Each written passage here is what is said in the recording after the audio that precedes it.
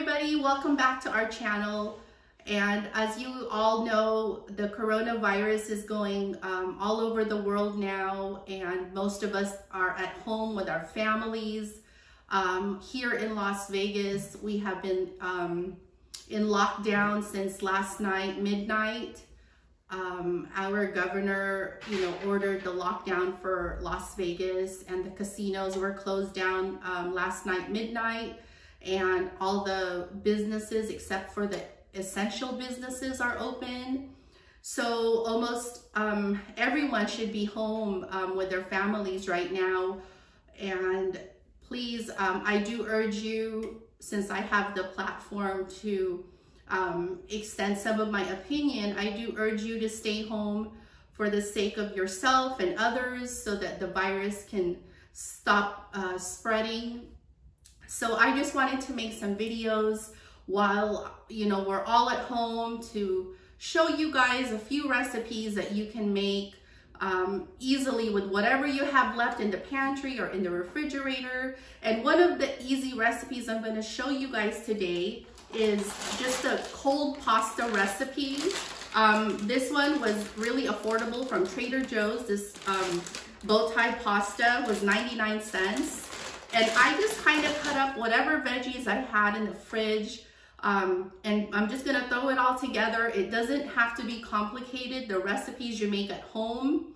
And I know everybody um, is you know, worried probably about their food supply, their water supply, but just be creative in the things that you make for your family, ration things out, and you should be fine with whatever supplies you have. And they still do have supermarkets open and some pickup and delivery restaurants open. Um, so you can also avail of those things right now. So you guys, let's go ahead with this cold pasta recipe that is really versatile and easy for anyone to make. So I, what I have here is some um, boiling water. This is about eight cups of water and I'm just waiting for that to boil. I'm gonna put a little bit of oil and salt. So we're just gonna boil the pasta. This specific one is uh, for nine to 10 minutes and you want it kind of al dente. You don't wanna over boil your pasta, then it's gonna become mushy. And then we're just gonna drain that when it's done. And then I'm gonna go ahead and saute some chickpeas, garbanzo beans here.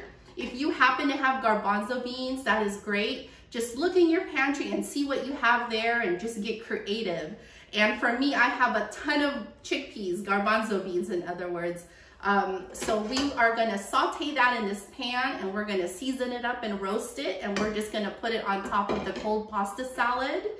And so far, you guys, I have cut up, these are all half cups here. I have some cucumber that I cut kind of in little pieces, bite-sized pieces. And this is the last of my green onion. I'm just gonna put part of this in there, not the whole thing. And I'll save the other half for another recipe.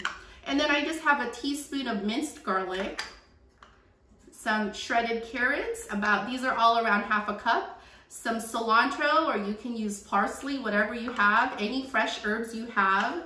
And then this is just um, some uh, celery with the leaves. I love the celery leaves. It gives um, your salads and other noodle dishes a really nice flavor. Um, also, I have some black olives that I've drained and rinsed and just some broccoli. We're just gonna, we're not gonna cook the broccoli. It's a cold pasta salad. We're just gonna cut it up, uh, chop it up in tiny um, bite-sized pieces. And then I have one lemon that we're gonna juice in this lemon juicer here. Some extra virgin olive oil, nutritional yeast for uh, nutritional purposes and a cheesy flavor, some turmeric, cumin, Himalayan uh, pink salt, fine Himalayan pink salt, um, some freshly ground black pepper, and some garlic pepper seasoning. So let's go ahead and get started. And I also have a can of chickpeas I gotta open and drain and rinse. So I'm just adding some oil and salt to the pasta water. Just eyeball it. I would say like a tablespoon of uh, any cooking oil and just like a teaspoon of salt. You always want to season your pasta. It just gives it a really nice flavor. You guys, the pasta I'm using today is the farfel. Is that how you pronounce it? Farfel.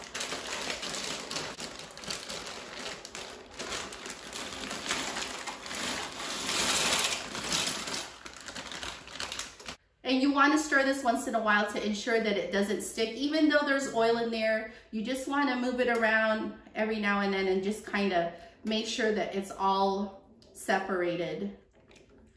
And while that's boiling, you guys, I'm gonna go ahead and slice these black olives that I've rinsed and drained and chop the broccoli into bite-sized pieces.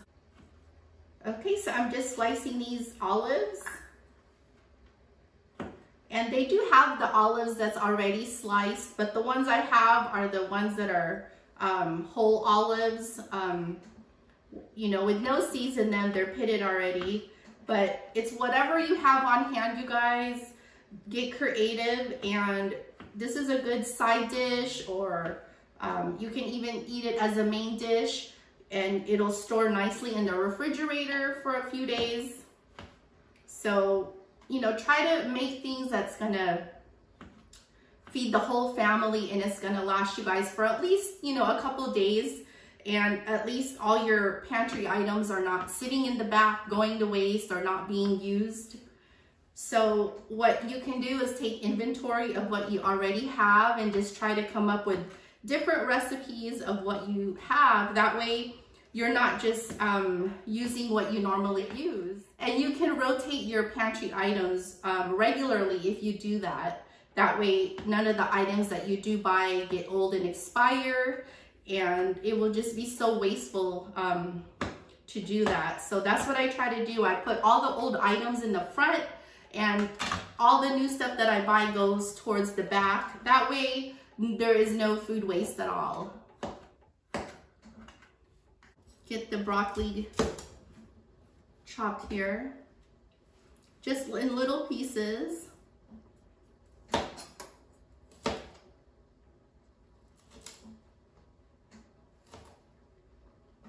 So just something like that, about that size.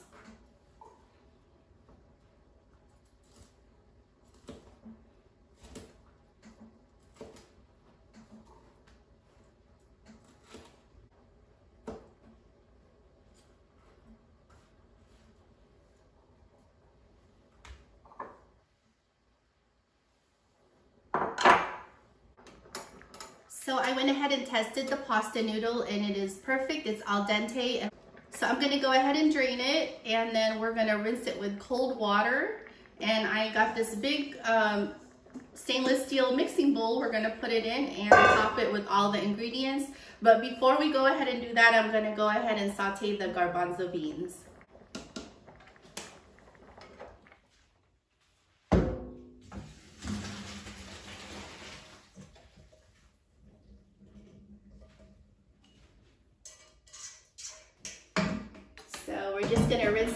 water.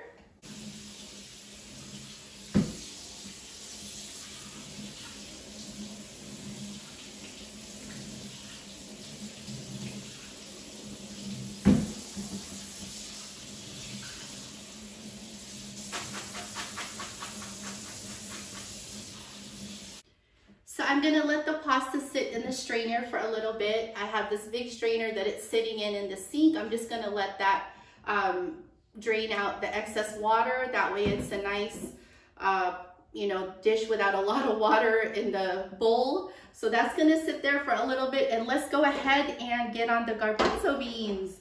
Okay, so I have the olive oil for cooking and I have the extra virgin olive oil for salad dressings. And I'm just gonna put about like a teaspoon. Let that heat up for a little bit. So once that heats up a little bit, you guys, I am gonna go ahead and add the minced garlic. We have one teaspoon of minced garlic, or in other words, uh, two garlic cloves.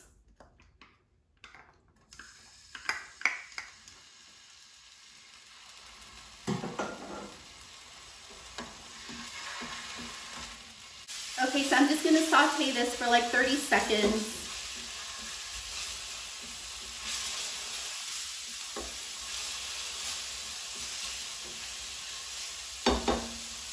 So let's go ahead and add the uh, garbanzo beans or chickpeas.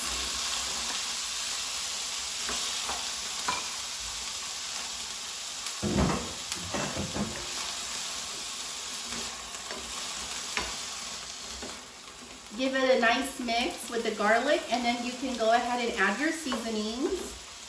And we're gonna put a little bit of nutritional yeast. This um, is a nice seasoning and it has a nice cheesy flavor.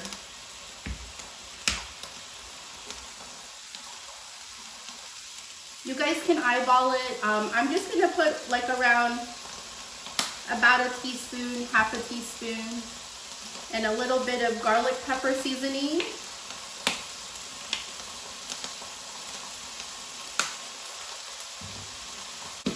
Fresh ground black pepper.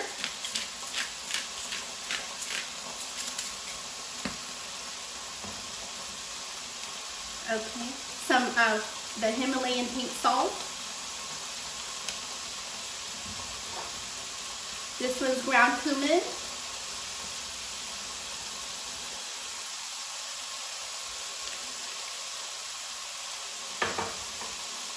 Okay, and some turmeric. And if you guys want to make this a little spicy, go ahead and add some chili pepper, cayenne pepper, um, uh, red pepper, red chili pepper flakes, red pepper flakes, whatever you would like.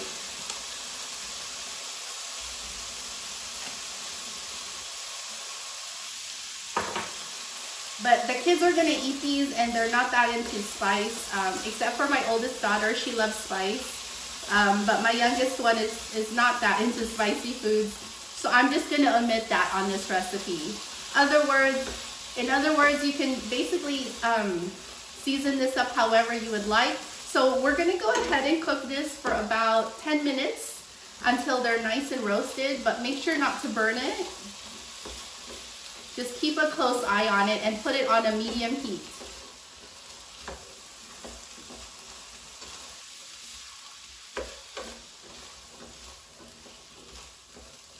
It smells so good right now, you guys. It's so fragrant and it's gonna have a nice uh, addition to our pasta salad. It's gonna give it another layer of flavor.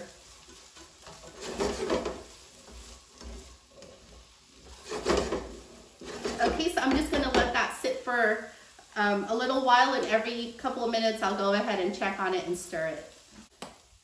Okay, great. So it's been about 10 minutes and I'm keeping a close eye on it. Okay, so that is done. I went ahead and turned off the heat and I am gonna set this aside over here for a moment. Okay, so I'm gonna set that aside over there and we're gonna go ahead and get started on assembling this pasta salad.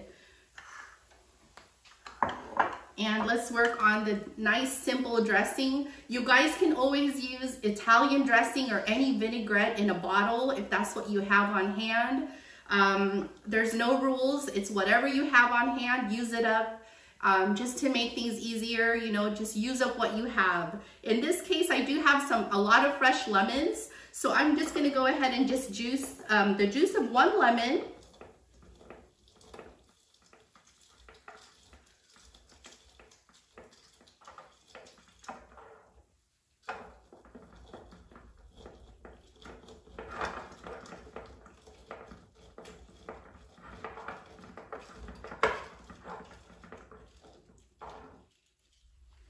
Okay, I think I got all the juice out of that lemon. That was a good lemon.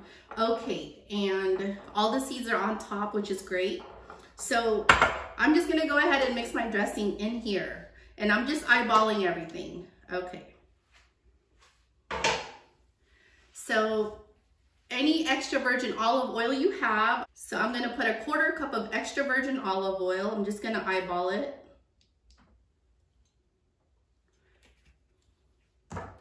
And then just some salt and pepper.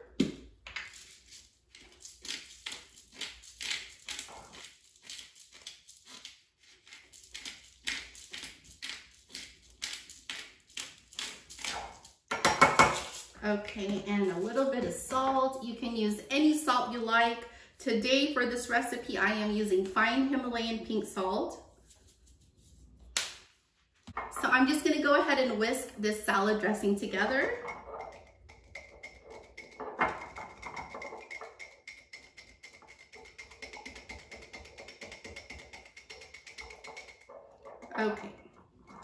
Just gonna set that aside.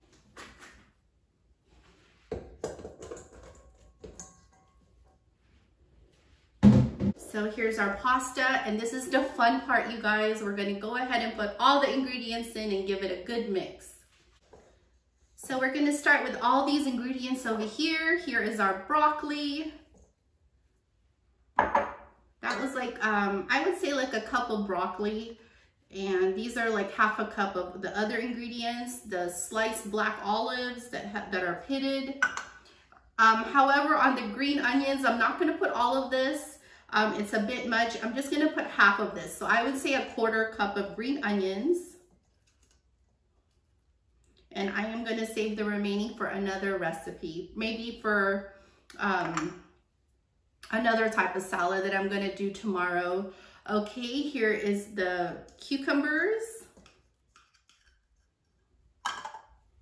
the cilantro or any fresh herbs you have on hand that you like. and shredded carrots and one stalk of celery with the leaves. Okay, so first I'm gonna mix this up and then we'll put the dressing and mix it again. So like a halfway uh, mix and then the dressing and then mix it a little bit more.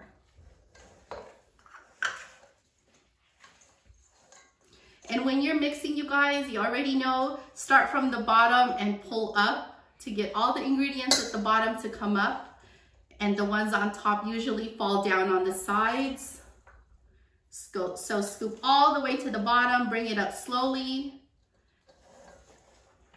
There we go. You can even put vegan cheese and vegan lunch meats in here, uh, sliced vegan sausages, you know, grilled, whatever you would like. That's why I love cold pasta salads and hot pasta um, dishes because you can pretty much throw whatever you want in there and then have a delicious sauce of your choice and it is good to go. Okay, let's go ahead and, oh, the chickpeas.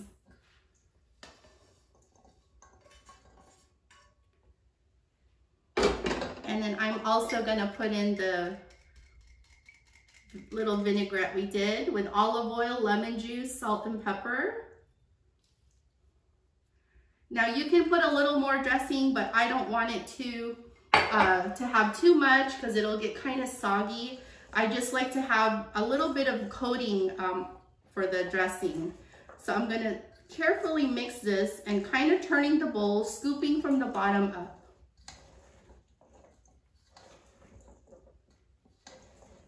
Okay, you guys, so I am gonna give it a quick little try.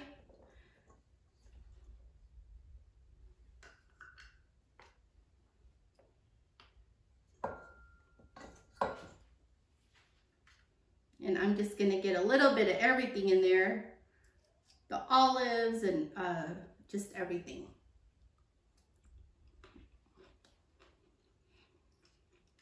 Mmm, so good nice and light.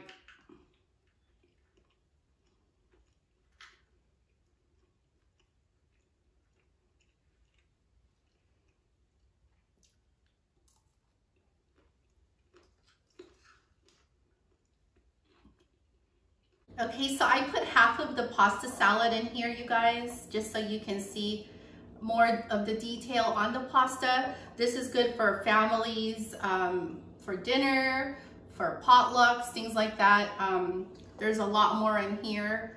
So I hope you guys enjoyed this video and I will do more videos for you while, while we are all at home during this difficult time with the coronavirus and um, let's all work together to stop the spread and just spend time with our loved ones, work on um, the things that maybe we've been wanting to do, little projects around the house.